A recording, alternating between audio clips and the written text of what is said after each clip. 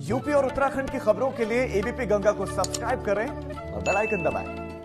और अब एक बड़ी खबर, मेरठ पुलिस ने कैदियों की खातिरदारी की। कोर्ट से जेल ले जाते वक्त रास्ते में समोसा पार्टी हुई।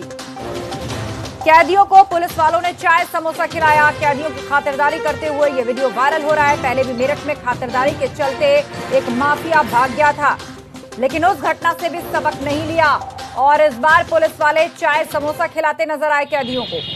कोर्ट में पेशी हुई और पेशी के बाद जब वापस ले जा रहे थे तो बीच रास्ते में रोककर इन दोनों कैदियों को आप देखिए समोसे खिलाए जा रहे हैं चाय पिलाई जा रही है कैदियों को बीच रास्ते में रोककर चाय पकौड़े समोसे खिलाए जा रहे हैं। जबकि एक बार पूर्व में घटना हो चुकी है जिसका फ़ायदा उठाकर एक कैदी भाग निकला था।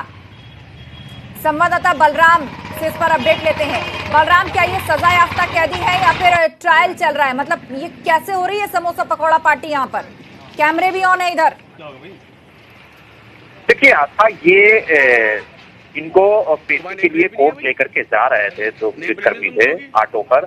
उसी दौरान इन्होंने एक चाय की दुकान पर रोका और रोकने के बाद उन्हें दो समोसे और चाय दिलाई है और ये खाते हुए वहाँ पर जो लोग मौजूद थे उन्होंने वीडियो बनाया और वीडियो बना करके सोशल मीडिया पे वायरल किया।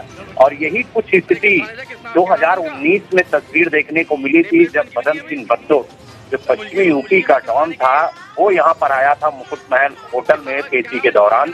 वो रहस्यमय ढंग से फरार हुआ था, जिसके बाद आज तक पुलिस उसका सुराग नहीं लगा पाई। तो कहीं कहीं जो मेरठ पुलिस का चरित्र है, वो इस वीडियो के ज़रिए सामने देखने को मिल रहा है, लेकिन जो पुलिस के आला अधिकारियों से हमारी बात हुई है तो उनका ये कहना था कि इसको शाम को दोनों युवकों को गिरफ़्तार किया गया था। उसके बाद इन्हें जब पीटी के दौरान ले जा रहे थे तो ये काफ़ी भूखे थे।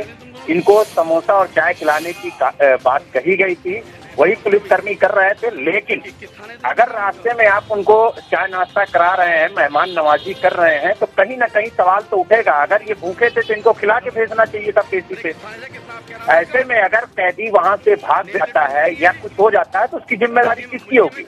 बिल्कुल पूर्व में जब इतना बड़ा माफिया डॉन इसी क्षण का ऐसे ही एक मूवमेंट का फ़ायदा उठाकर फरार हो चुका है तो ऐसे में इतना बड़ा रिस्क कैसे ले सकती है पुलिस? बीच सड़क पर ऑटो में आप बैठे हैं, ऑटो में दोनों साइड खुली होती है। यहीं पर चाय समोसा बैठ करके खाया जा रहा है और किसी भी वक्त कोई भी इस मौके का फ़ायदा उठाकर भाग सकता है। शुक्रिया बलराम, अहम जानकारी के लिए।